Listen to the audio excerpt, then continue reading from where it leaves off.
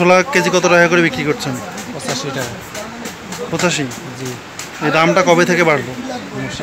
ছোলার দাম এরকমই ছিল আগের থেকে যেরকম অনুরোধ এই কয়েকদিন আগে আশি টাকা করে ছিল?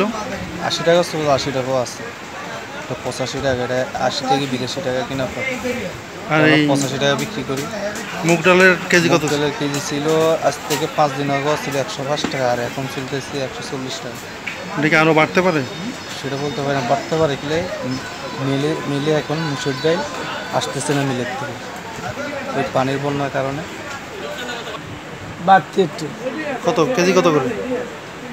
ছোলার দাম। আশি টাকা। খুচরা পঁচাশি টাকা। আপনাদের কেনা পড়তেছে কত? কিনে পড়তেছে আপনার এখন আশি টাকা। আটাত্তর টাকা। আশি টাকা এখন কিনে পড়ে। আশি টাকা কেনা? এই বিক্রি করতেছেন কত? পঁচাশি। এটা কি রোজার কারণে বাড়তেছে? রোজার কারণে এটা তো সর্বসময় একই রোজার কারণে চাহিদা অনুযায়ী রদ বদল হয়